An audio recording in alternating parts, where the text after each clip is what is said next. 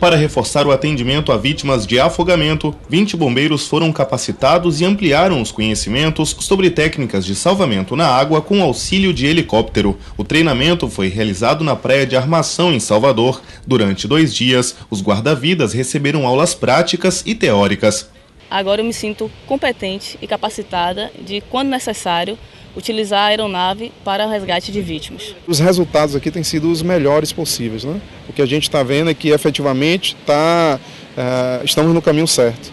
Né? Treinar para que quando precisa operar esteja em 100%. No esquema de revezamento, os bombeiros salva-vidas foram lançados e em seguida retirados do mar.